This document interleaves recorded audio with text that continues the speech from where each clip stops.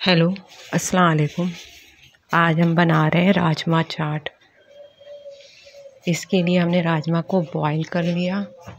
एक गिलास राजमा में हमने दो प्याजे, तीन टमाटर और तीन आलू डालकर बॉईल कर लिया। इनको एक घंटा उबाला था तभी हमारे राजमा बहुत ही मुलायम हो गए। अब हम ये टमाटर पे से छिलका उतार ले रहे हैं। एक चम्मच तेल हमने गरम करा। उसमें जो है हमने एक छोटा चम्मच अदरक लहसुन का पेस्ट डाला।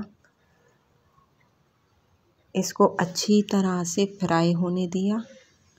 जब ये अच्छी तरह से फ्राई हो गया तो हमने इसमें एक छोटा चम्मच ज़ीरा पाउडर, एक छोटा चम्मच पिसी लाल मिर्च, एक छोटा चम्मच नमक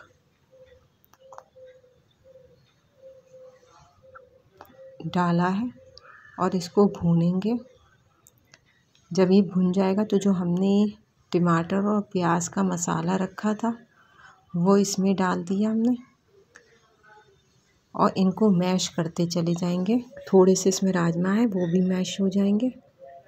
अब हमने इसमें राजमा एक बाउल डाला और वो दो, तीन आलू जो उबाल के रखे थे वो मिलाए।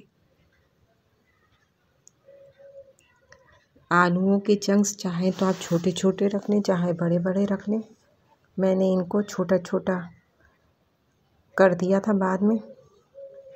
इसमें एक छोटा चम्मच हमने चाट मसाला पाउडर जो मेरे घर का बना हुआ, वही डाला है। इसी से बहुत मज़ा आ जाएगा इसमें। ये हमारी राजमा चाट तैयार है। इस राजमा चाट को अब हम प्लेट में निकाल रहे हैं।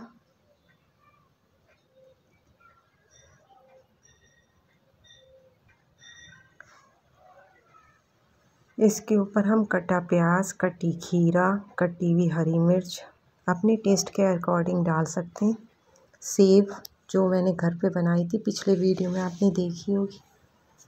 और थोड़े से ग्रीन चटनी, ये भी मेरे चैनल पे अपलोड है।